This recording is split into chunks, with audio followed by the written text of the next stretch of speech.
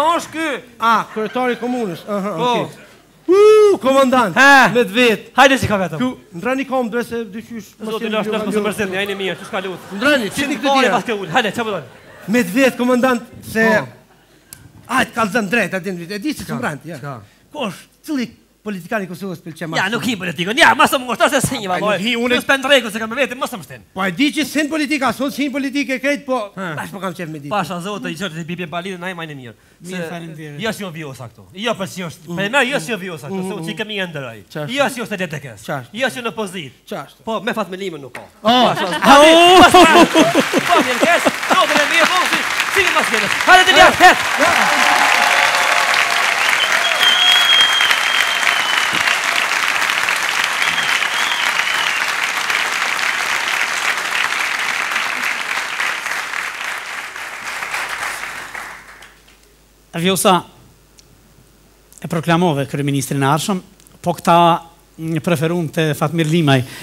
Është interesant. Janë veç dy ata. Janë veç dy. Po, po. Është një vend Ballkan ku ligjet janë të paligjshme. Ku proceset gjyqësore zgjasin më shumë se vetë jeta. A keni menduar ndonjëherë si juriste që jeni, Edhe si grup politik në Kosovë, që drejtësia në Kosovë më në fund duhet të rregullohet.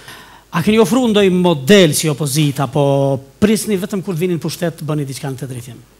Në fakt edhe sa kemi qenë në qeveri, ju e dini, Ministria e Drejtësisë është udhëheq nga zonja e nderuar Nekibe Kelmendi, e cila fatkeqësisht nuk është më me ne, por ka dhënë një kontribut të jashtëzakonshëm në përforcimin e sundimit të ligjit në Kosovë.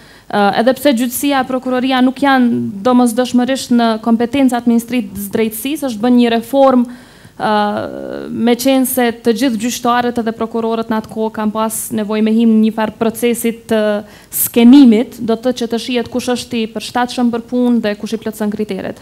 Mirëpo ajo çka i mungon sot vërtet gjyqësisë është inkuadrimi i gjeneratave të reja Dhe këtu duhet të punojmë të gjithë sepse ju e keni pa që ka shumë donatorë në Kosovë, mirëpo shumica e donacioneve shkojnë në kapacitetet ekzistuese, kështu që insistimi im është që donacionet të shkojnë në Fakultetin Juridik, që të prodhojmë kuadra të mirë, që në momentin që ata ta përfundojnë fakultetin të jenë të gatshëm që të kontribuojnë në gjyqësor, dhe e dyta ju e dini që virusi ma i keq është virusi i korrupsionit, ai virus ka hyrë tashmë në gjyqësinë kosovare dhe ka ndërhyrje të jashtëzakonshme politike, dhe ajo e krijon këtë lëngimin që e thatë ju ma herët.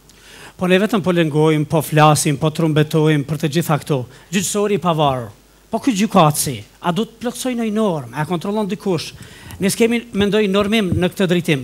Dhe lëndët grumbullohen, vitin e parë thojnë njëqind mijë, pastaj dyqind mijë, pastaj treqind mijë.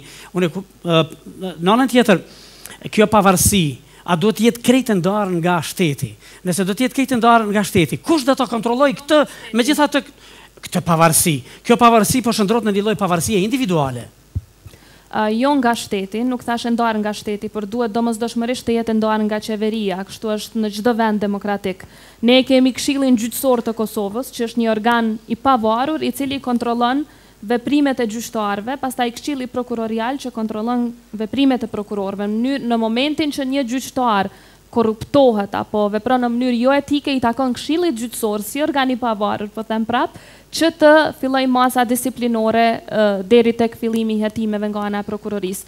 Fatkeqësisht rastet e tilla kanë qenë shumë të rralla, unë po e them kjo ndodh kryesisht për shkak të ndërhyrjes politike që e bën qeveria në gjyqësor. nqoftëse ajo nuk do të ekzistonte, atëherë gjyqtarët do ta kishin shumë më të lehtë që të punonin. Po, ju keni drejtë, sepse vërtet kjo mvaret edhe nga integriteti personal i secilit person. Nqoftëse dikush pranon të shkojë ta kryejë punën e gjyqtarit, duhet ta dijë që mos të bijë pre e asnjë kërcënimi. dhe duhet ta çojë detyrën e vet deri në fund vetëm e vetëm në përputhje me ligjet e Kushtetutën e jo në bazë të asaj çka i thojnë telefonatat prej qeverisë. Afërdita, në jetën tuaj, në punën tuaj, se ju jeni realisht biznesmene, a ju ka penguar diçka gjyqësori, gjyqësia në Kosovë për shkak të shtyrjes së afateve apo neglizhencës apo? Në realitet nuk kemi pas ndonjë problem konkret, se janë probleme që ballafaqohesh në çdo sferë në jetë. Privatisht ndoshta kom pas një problem në komunikacion që më ballafaqu në gjyqësi edhe në fakt gjykatësja femër ka qenë shumë korrekte dhe profesionale.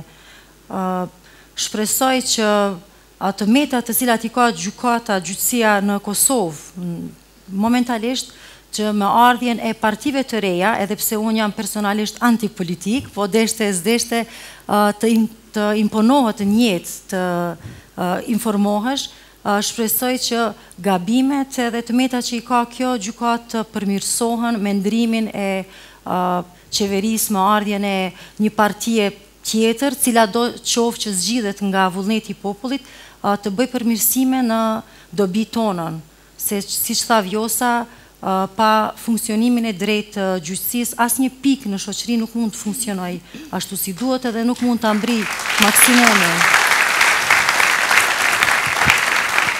Qëto e morëm me veti si duke tha partitë e reja po ju pritëm me ardhë në pushtet. Vërtet mirë që çdo shoqëri të ketë edhe njerëz që nuk janë të inkuadrum, unë mendoj që Afërdita e bën një punë të shkëlqyeshme në profesionin e saj dhe kështu e jep kontributin e vet për shoqëri, mirëpo natyrisht që ne jem krahëhapur për kuadra të tillë, të cilët janë shembull për për gjeneratat e reja dhe ka çka çka t'i japë Kosovës edhe tash e tutje, po është kuptohet vendim i saj se çka vendos. Vjosa Osmani.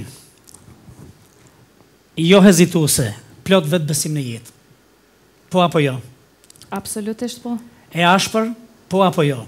Vetëm ndaj PDK-së. Këtë njeriun me të cilin posa jeni martuar ku e gjete? Në parlament jo. Apo t'gjeti ai ty? Në fakt në ndërtesë të parlamentit. Në ndërtesë të parlamentit. Po, Sillet e pështillet aty diçka.